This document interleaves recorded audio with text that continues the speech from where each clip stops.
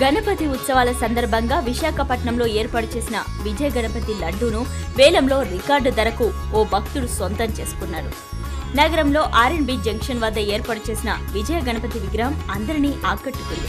వేలంలో విజయ గణపతి లడ్డూ ధర పన్నెండు లక్షల డెబ్బై ఐదు వేల రూపాయలు పలికింది. వేలంలో ఈ లడ్డూను దక్కించుకునేందుకు భారీ సంఖ్యలో భక్తులు పోటీ పడగా నిర్వాహక కమిటీ దీనిని సొంతం చేసుకుంది.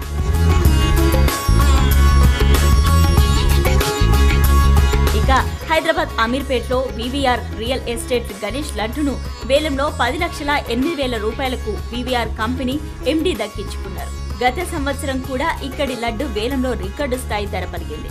గతంలో ఇక్కడి లడ్డూను సొంతం చేసుకున్న వాళ్ళంతా సొంత కంపెనీలు పెట్టుకున్నారని ఈసారి తాను దక్కించుకోవడం అదృష్టంగా భావిస్తున్నానని ఎస్వి బాబు చెప్పారు.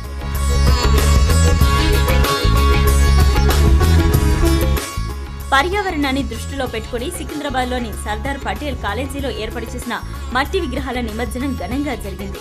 చెరువులను శుభ్రంగా ఉంచుదాం మట్టి వినాయకులను పూజిద్దాం అంటూ కాలేజీలో ఎన్ఎస్ఎస్ విద్యార్థులు ఏర్పాటు చేసిన మట్టి విగ్రహాల నిమజ్జనంలో విద్యార్థులంతా పాల్గొన్నారు.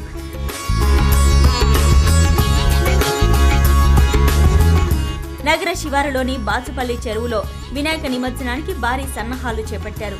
చెరువుల వద్ద క్రేన్లతో పాటు లైటింగ్ స్టంప్ ఏర్పాటు చేశారు. బాచుపల్లి చుట్టుపక్కల వందకు పైగా విగ్రహాలను నిమజ్జనం చేయడానికి తరలిస్తున్నారు.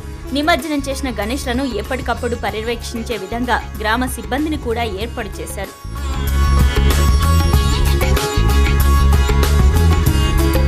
హైదరాబాద్లో మహా నిమజ్జన సందడి కొనసాగుతుంది. నిమజ్జనానికి గణపతి విగ్రహాలు హుస్సేన్ సాగర్తో పాటు ఆయా ప్రాంతాల్లోని చెరువుల వద్దకు భారీగా తరలివస్తున్నాయి.